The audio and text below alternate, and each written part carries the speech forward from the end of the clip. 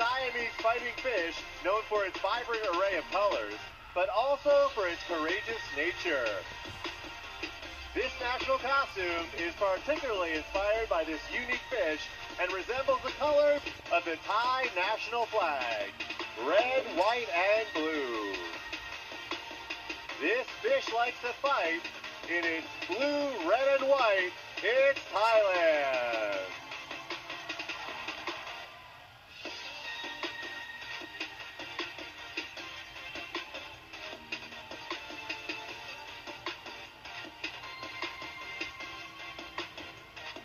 Up next, we have